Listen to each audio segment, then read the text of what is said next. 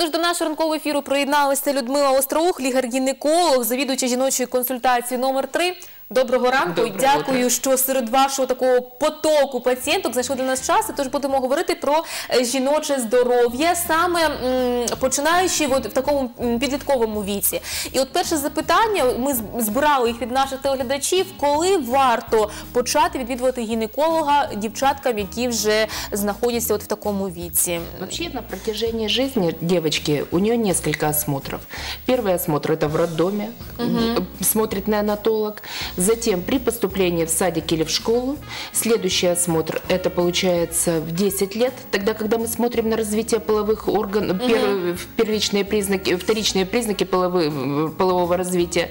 Это округлость молочных желез, волосение в подмышечных, лобковой впадины.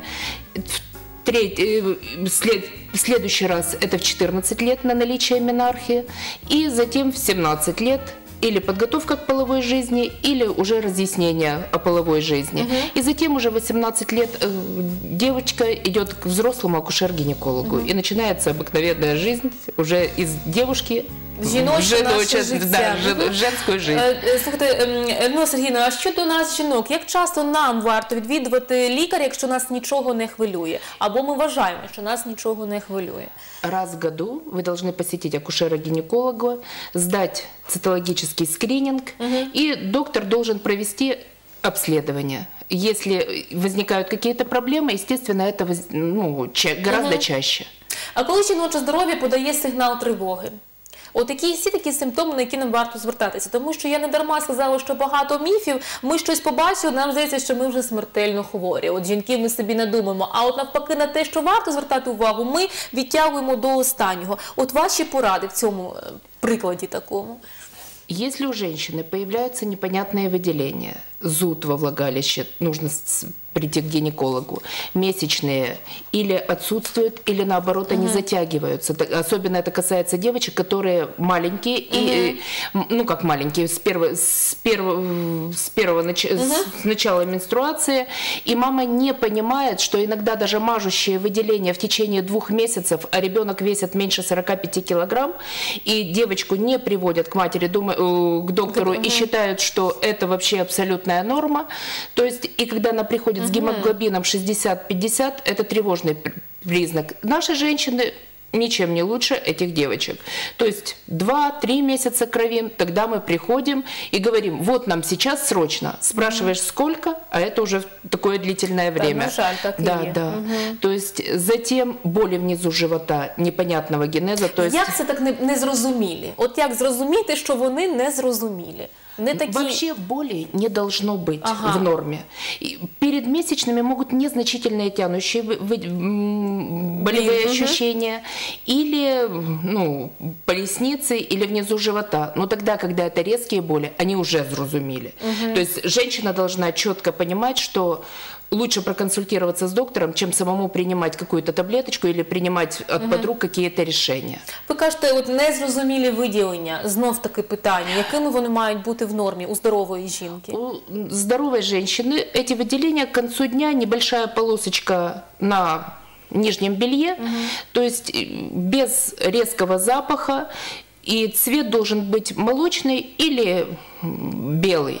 Если эти выделения имеют запах, имеют гораздо более большую интенсивность, то рекомендуется з- звернутися до лікаря. Мгм. Які найпоширеніші жіночі хвороби на сьогоднішній день є? От з якими стикається практично кожна друга жінка, скажімо так.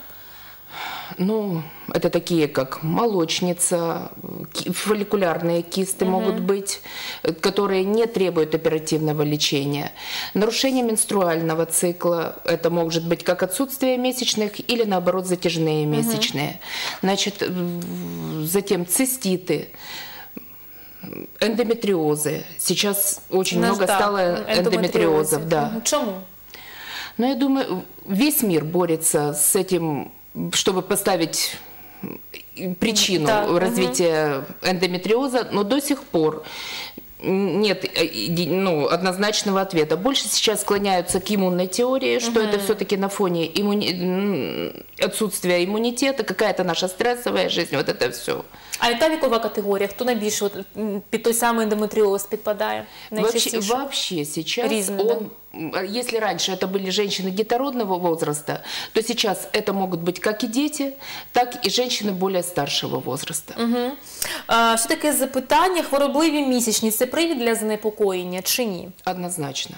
Поясните, То есть вы должны обратиться к доктору, должен, доктор должен провести, произвести осмотр, обследование, и тогда принять решение, каким образом уменьшить эти месячные, нач- уменьшить болезненные ощущения во время месячных и м, назначить соответствующее лечение. Потому что в норме месячные должны проходить для женщины не особо ощутимые. Так, от давайте на цьому зупинимось більш детальніше, тому що інколи е, почуєш від жінок настільки болісно це все відбувається. м, От які вони мають бути такими нормальними? Незначительные тянущие боли внизу живота во- в первый день. То есть и могут быть немного в пояснице. И затем, когда открывается шейка матки идут выделения, то есть уже болевых ощущений у женщины не возникает. Она единственное, что делает, это гигиенические процедуры, меняет прокладки или тампоны. И в принципе больше ничего. То есть она не должна ощущать этих месячных. Угу. Ось так. Та, н- Немає такого, що ми лежимо, вмираємо, Ні, це відхил. це- це тобто, не норма. ага, ми маємо в такому е, випадку йти до лікаря. Однозначно. Так? Да. Е, Ну ми все ще списуємо, що якийсь гормональний збій, от у деяких можуть е, менструація там іти і два тижні, кажуть, та це гормональний збій. Так не має бути. Для так? этого, для этого есть доктор. И, в принципе, нормальные месячные – это от 3 до 7 дней. И все, что меньше и все, что больше, требует тоже консультации доктора. И по интенсивности точно так же. То есть, если женщина меняет там 3-4 прокладки, это еще норма, и в зависимости... А если женщина меняет пачку в день прокладок и считает, что это норма, ну, извините меня. То есть для этого все равно должен, должен быть визит к доктору, даже здоровой женщины, для того, чтобы доктор мог объяснить, что, зачем, почему и для чего. Якісь профілактичні, от такі, от як варто жити, жити жінці да, для того, щоб е, не хворіти в такому жіночому аспекті? Чи є якісь такі профілактичні поради від вас, чи ні? Однозначно є. Є, безумовно. Пол-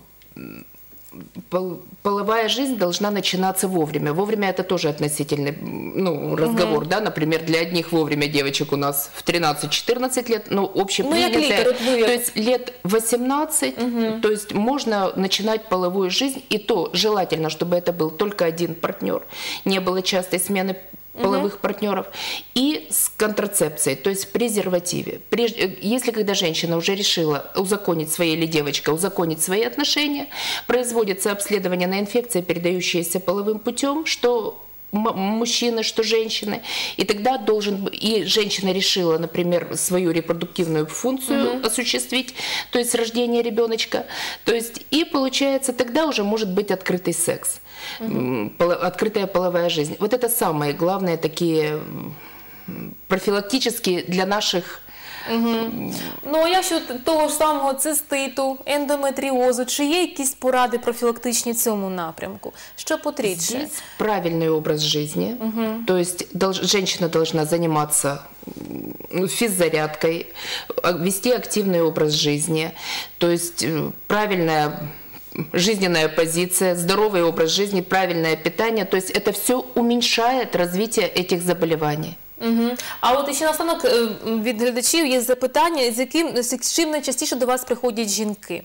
Ну, от, в принципі. Ч- Чаще всего с, м, с выделениями. То есть у меня не- неправильное выделение, так как они говорят, что или не такие, какие должны быть, или с нарушением менструального цикла. Мгм. Ну, знову таки, про виділення ми ж читаємо багато інформації з- завдяки інтернету, да, що протягом місяця вони мають змінюватися. Однозначно. Е, Так, от То давайте есть после ще... месячных это должны быть незначительные выделения, середина цикла или это овуляция.